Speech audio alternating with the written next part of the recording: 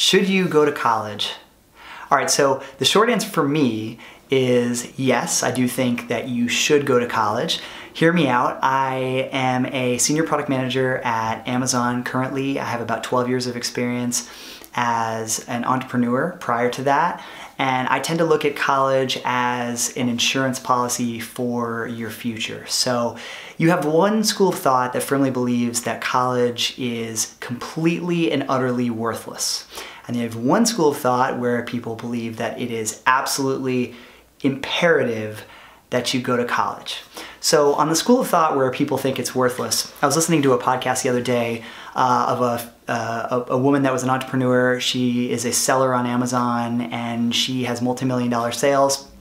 She was talking about how her computer science degree was completely, utterly worthless and that she doesn't even know how to program her remote control for her TV anymore.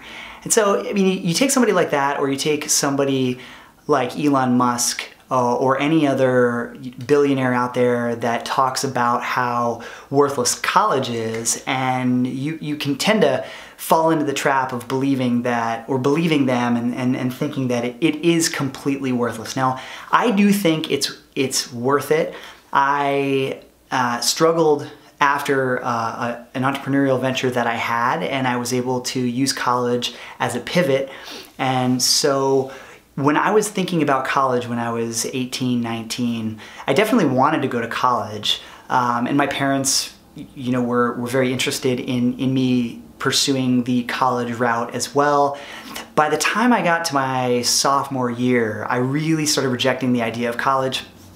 I really wanted to be an entrepreneur. I wanted to do nothing else. I thought about dropping out of school and I actually was able by my junior year of college, I did start a business, uh, uh, an electronics company that grew to multi-million dollar sales. Uh, I had that company for nine years.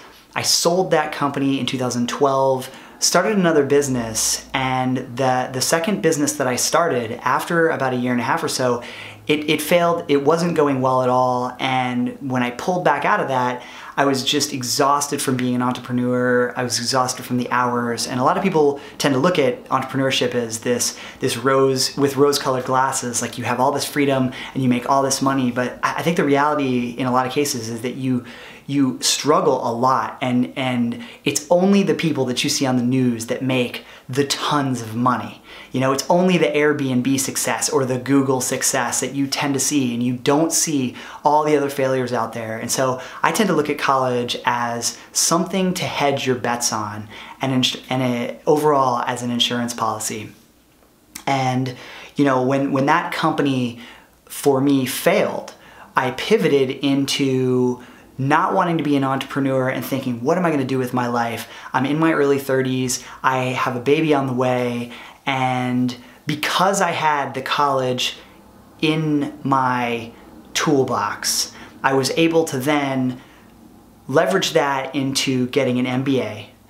And then I was able to pivot into a really high paying six figure job in corporate America. And subsequently, I was then poached from my great job uh, in corporate America to Amazon.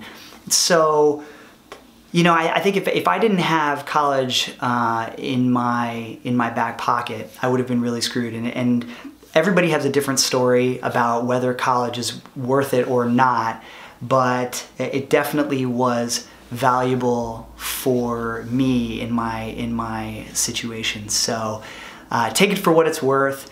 I think if you use your mindset and think about college as merely an insurance policy for your future, and you don't think of why college would be worthless right now, and you think about it how maybe in 10 years and 15 years and 20 years you want to pivot, you want to reinvent yourself. If that's the case, um, you can you can do so with with the background of college. So, uh, you know, and, and also the the argument that college is ultra expensive is true. It is expensive. It is crazy. I think that the costs have gotten out of control, and I absolutely agree with that com those comments out there.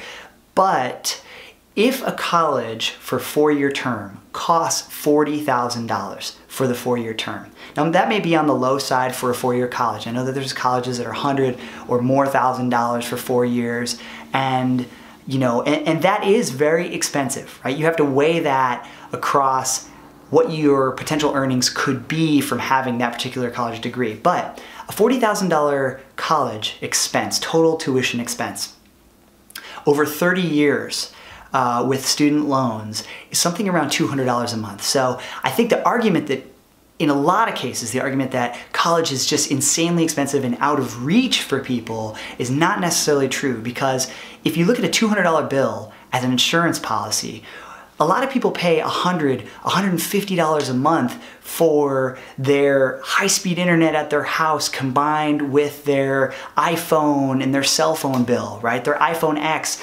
is, uh, is $30 a month that they're paying for and their cell phone bill is $99 a month. And then you lump on you know gigabit speed internet at your house and you're another 50 or 60 dollars a month right? You're you're 200 dollars a month in in creature comforts.